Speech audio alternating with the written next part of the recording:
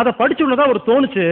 உடம்புல இருக்கிற எல்லா செல்லும் ஒரே மாதிரி இருக்குன்னா எல்லா மாதிரிக்கும் ஒரே வைத்தியங்கள் சின்ன ஸ்பார்க் வந்துச்சு. ரங்கராஜி சொல்லி கொடுத்தது வேதாத்திரி மகரிசையாவுடைய அந்த ஒரு பதினஞ்சு பேஜ் புக்கு இது ரெண்டும் என்னுடைய வாழ்க்கை என்னோட அனுபவம் என்னோட நோய் மொத்தமும் ஒன்றா சேர்ந்து உட்கார்ந்து பார்க்கும்போது ஒரு விஷயம் புரிஞ்சுது. ஒரு நோயாளி செய்யற தவறு தான் நோய்க்கான காரணம். ஒரு நோயாளி தன் தவறை சரி பண்ணா மட்டும்தான் நோயை குணப்படுத்த முடியும். ஒரு நோயாளியை தவிர வேற யாராலையும் தன் நோயை உடனே குணப்படுத்த முடியாது. இருக்கிறதுலே சிம்பிளஸ்ட் வே வந்து நம்ம நோயை நாமளா குணப்படுத்திக்கிறான்னு சொல்லி அதுக்கப்புறம் பல புஸ்தகங்கள் பல டிவிடி பல இன்டர்நெட்ல பல விஷயங்களை கத்துக்கிட்டு நான் ஒரு விஷயம் பேசுறேன்னா அதுக்கு ரொம்ப வருஷம் தேவையில்லாத விஷயம் எவ்வளவு கத்துருப்பேன்? ஃபில்டர் பண்ணி எடுத்துட்டு வரேன். அப்போ இவ்வளவு விஷயத்த ஷார்ட்டா எப்படி கொடுக்க முடியுதுன்னா நான் கத்துக்கிட்டது ரொம்ப அதிகம். அதில் இருக்கிற நல்ல விஷயத்த மட்டும் பொறுக்கி ஜூஸ் போட்டு ஒரு நாளில் இவ்வளோ விஷயத்த கொடுக்க முடியுது. அதனால் என்னுடைய விஷயம் நான் பேசுகிற விஷயங்கிறது நான் ஒரு தனி ஒரு குருநாதர்கிட்ட கற்றுக்கல ஒவ்வொரு வார்த்தையும் ஒவ்வொருத்தருக்கு கற்றுக்கிட்டேன் ஒவ்வொரு குருநாதர் ஒவ்வொரு புக்கு ஒவ்வொரு டிவிடின்னு நிறைய படித்து அது மூலமாக தெரிஞ்சுக்கிட்ட விஷயத்த ஃபில்டர் பண்ணி நல்லது கெட்டது மட்டும் பிரித்து கொடுத்துட்ருக்கேன் அதனால் இது ஒரு குறிப்பிட்ட குருநாதர் கிடையாது. இந்த விஷயத்த என்னோடதுன்னு அப்படிங்கிற கிடையாது. யாருக்கு புரியுதோ நீங்கள் யாருக்குன்னா சொல்லிக் கொடுக்கலாம். இது ஒரு காப்பி ரைட்லாம் கிடையாது.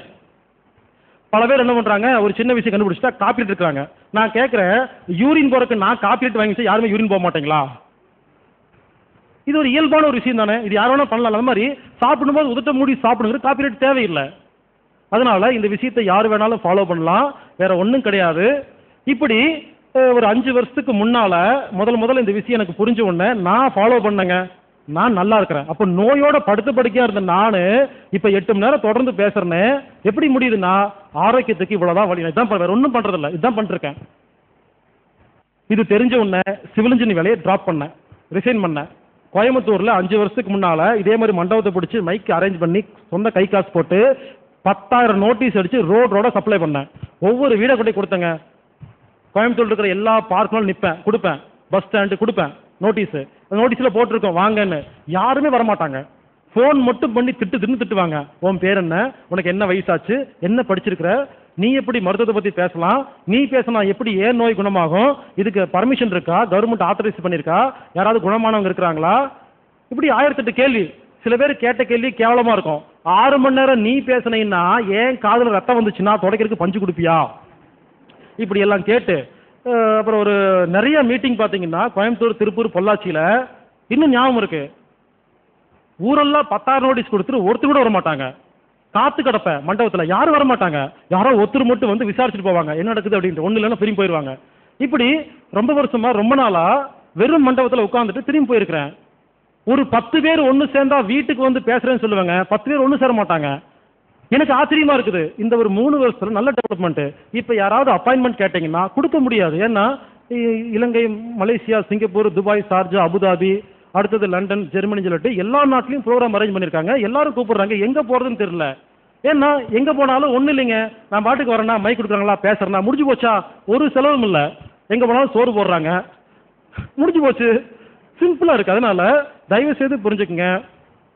முழுசாக ஃபாலோ பண்ணுங்க. கண்டிப்பாக குணமாகும். வேற ஒன்றுமே கேட்கல இந்த விஷயத்த உலகத்தில் இருக்க எல்லா மக்களுக்கும் சேர்த்தணுங்கிறது மட்டும்தான் நோக்கம். அதனால எப்படியாவது அவங்கவங்க முடிஞ்சதுன்னா டிவிடி வாங்குனீங்கன்னா சும்மா இருக்காதீங்க. நூறு காப்பி போடுங்க. இதுக்கு யாருக்கும் பர்மிஷன் தேவையில்லை. கம்ப்யூட்டர் இருந்தால் காப்பி போடுங்க. எல்லாத்துக்கும் கொடுங்க. ஏன்னா நான் ஒருத்தனை எல்லாத்துக்கும் கொடுக்குற லேட் ஆகும்.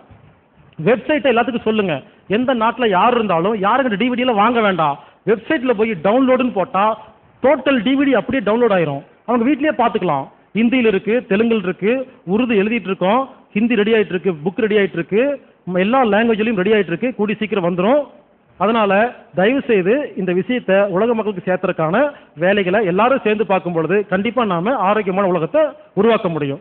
நீங்க கேட்குற எல்லா கேள்வியும் டிவிடியில் புக்லேயும் தெளிவாக விளக்கம் இருக்கு. அதை படிங்க வாங்கி பாருங்க. கண்டிப்பாக அதில் விளக்கம் இருக்கும். உங்களுக்கு புரியும். மேற்படி சந்தேகம் இருந்தால் இமெயிலுக்கு ஒரு மெயில் அனுப்புங்க. இமெயில் மட்டும் நான் நேரடியாக டைரக்டா நான் தான் அனுப்பிச்சிட்டு இருக்கிறேன். ஃபோன் பண்ணால் அவ்வளோ சீக்கிரம் பிடிக்க முடியாது. ஏன்னா ஒவ்வொரு நாளும் மீட்டிங் பேசுறதுனால எல்லாத்துக்கும் ஃபோனில் பேச முடியல. இமெயில் அனுப்புங்க. கண்டிப்பாக அதுக்கு உடனே உங்களுக்கு பதில் வரும். இந்த நிகழ்ச்சி இங்கே ஏற்பாடு செய்த அனைத்து ஐயாக்களுக்கும் அம்மாக்களுக்கும் மறுபடியும் மறுபடியும் நன்றி தெரிவிச்சுக்கிறேன். இங்கே வந்து உட்கார்ந்த அனைவருக்கும் நன்றி. நன்கொடை ஏதாவது கொடுக்கணும்னு விருப்பப்படுறவங்க வெளியே ஒரு பாக்ஸ் இருக்கும். அந்த பாக்ஸில் கொடுக்கலாம். இல்லை கையில் கொடுக்கலாம். இல்லை வெப்சைட்டில் போனீங்கன்னா பேங்க் அக்கவுண்ட் நம்பர் இருக்கும். அதில் நீங்கள் அனுப்பலாம். அனைவருக்கும் நன்றி. வாழ்க வையகம் வாழ்க வளமுடன் குரு வாழ்க எல்லா புகழும் இறைவனுக்கு.